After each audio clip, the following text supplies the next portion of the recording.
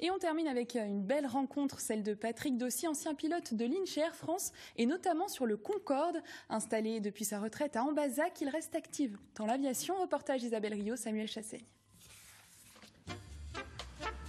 À l'aérodrome Maris Bastier de Saint-Julien, Patrick Dossy trouve tout ce qu'il aime.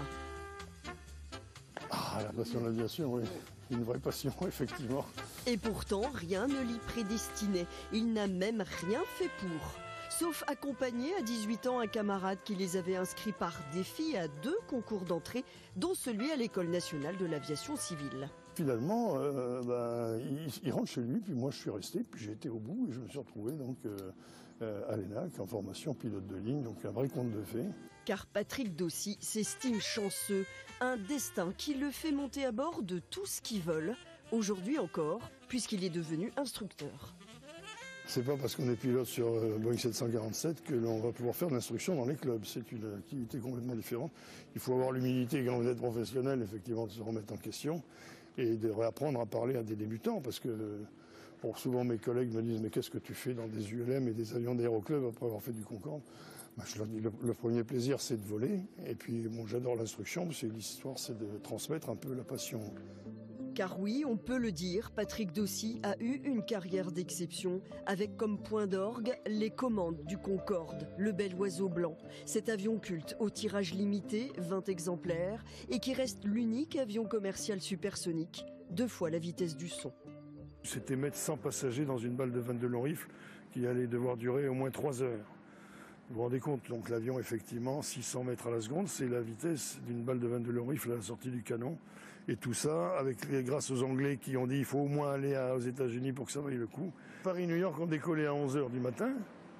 Euh, Je racontais euh, souvent à mon curé du village que le dimanche, quand je fermais mon portail en Seine-et-Marne à 9 heures du matin, je décollais à 11 heures de Roissy et j'arrivais à avoir la messe de 10h30 à Saint-Patrick.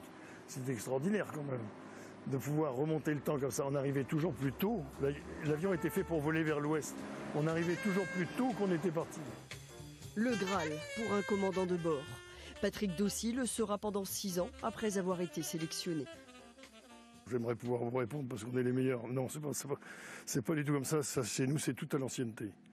Donc, euh, ben, et il faut, alors pour Concorde, il faut un alignement des planètes euh, quand même très difficile à atteindre parce que quand vous êtes sur un avion, vous devez rester un certain temps pour amortir les frais de formation. Une formation sur euh, Airbus, ça coûte euh, 35 000 euros. Sur Concorde, ça coûte euh, 200 000 euros. hein. Donc on vous demande de rester, une fois que vous êtes formé, au moins 4-5 ans. Vous savez, avant de décoller avec une machine comme ça, on fait 6 mois de stage. hein. vous passez déjà 3 mois à Toulouse dans des simulateurs. Et puis euh, le jour où vous montez dans la machine et que vous décollez la première fois, vous l'avez fait des dizaines et des dizaines de fois. Un mythe qui s'achève en 2003, trois ans après la tragédie du 25 juillet 2000. Quand je vous dis qu'il a souffert de la banalisation, c'est qu'on nous a toujours dit, quand on suggérait des trucs comme ça, c'est un avion comme les autres, alors qu'en fait c'était un truc euh, hors norme, c'était un truc qui méritait des précautions considérables, c'était plus un avion, c'était pas une fusée, c'était un truc euh, absolument incroyable euh, qu'on arrivait à mettre en piste tous les jours, mais qui méritait quelques égards. Voilà, donc ça c'est... Vrai que Concorde, c'était à la limite du raisonnable, c'était énorme, énorme. Pour un pilote de ligne lambda, comme moi, si vous voulez, c'est une chance considérable d'avoir pu approcher ce, type de machine. Je, fais rêver les copains, il y a des copains qui ont refusé pour euh, des questions d'avancement, passage commandant de bord plus, plus tôt que moi, et ceci en France.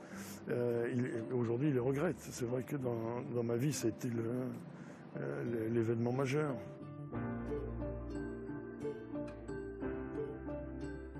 C'est la fin de cette édition. Merci de l'avoir suivi. Excellente soirée et à demain.